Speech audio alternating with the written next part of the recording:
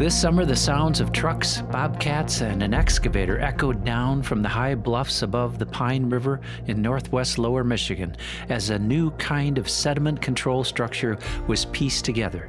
Attempting to mimic nature, the Conservation Resource Alliance and its partners designed and built a log jam like no other in Michigan, stabilizing a sand bluff and creating new fish habitat. Amy Beyer explains that this scenic river flows across state land managed by the Michigan Department of Natural Resources. There's a really nice trail that runs across the top of this embankment, enjoyed, used heavily by people, and uh, the erosion that set up way back during the logging era has been eating away at the banks here and threatened the trail. And of course, you could just move the trail if that was going to be that simple, but there was an opportunity here that we joined in to both stop the erosion, stabilize the bank in the bottom of the river like it used to be before we stripped all the trees off of it, and add habitat at the same time. Among CRA's many project partners and funders is Trout Unlimited. Gary Merrick is a prominent member and a founder of the Pine River Area chapter. The erosion here I was I've been aware of when I, since I've been a late teen.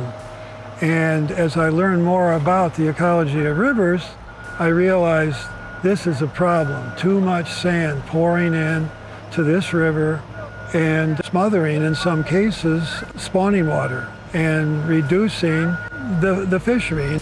Biologist Nate Winkler is CRA's on-scene project coordinator.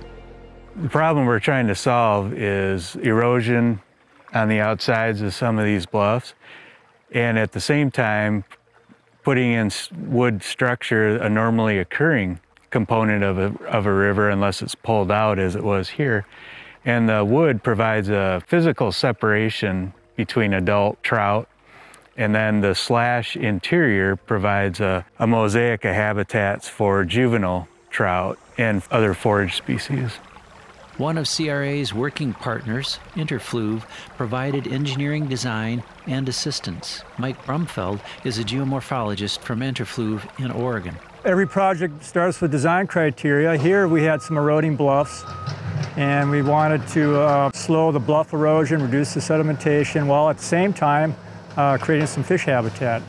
So what we did is we came in and surveyed the river and completed some hydraulic modeling and then did some engineering calculations to determine how to design it, the, the configuration, the ballasting for the wood habitat, and um, came up with a design. We're here today to, to build it. The project starts at the end of that silt fence.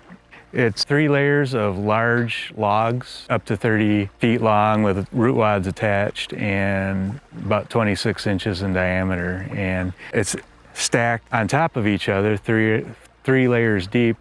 And inside of that is slash, logging slash. And the whole thing is ballasted by individual boulders. There's several different ways you can ballast large wood. If the wood's big enough, you don't need any ballast. It's all related to the hydraulic energy and the flood stage in any given site or river. At this location, with the size of the material that we had to work with, we had to ballast. So boulders, chained to boulders or piles and threaded rod are methods to ballast large wood and make sure it doesn't float off site and meets the objectives. Here, uh, we wanted to stabilize the toe of the bluffs and we didn't want the wood to move, so the boulders and the piles all connect everything together as one unit to stabilize the toe and create some great fish habitat. And this project also has a third component, which is restoring hydraulic function to the pine.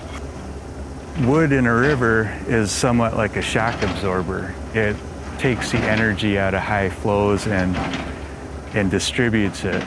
And that is historically been very important. Pre-European settlement, you know, the river was just chock full of wood.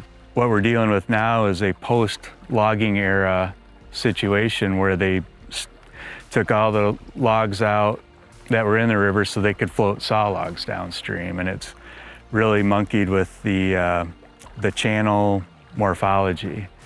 And so putting the wood back in like we did down there helps again, to absorb uh, flood energy, uh, induce scour, so you can get deeper holes around those pieces of wood.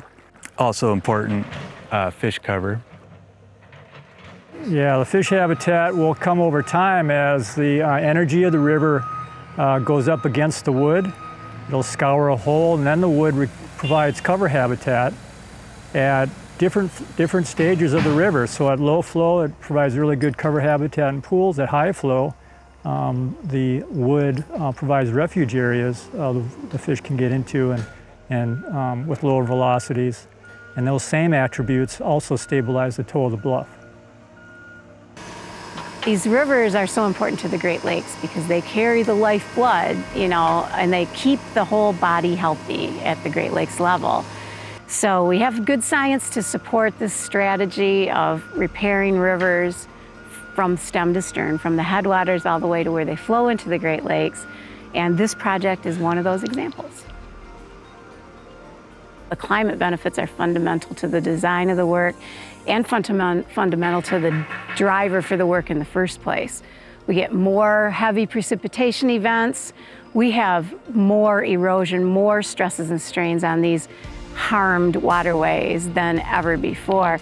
And the costs of you know, responding to these emergencies and blowouts and washouts of bridges and and banks and so forth, um, it's it's much more effective to be proactive about it and try to treat something like this before it costs so much to go in and repair it in a hurry.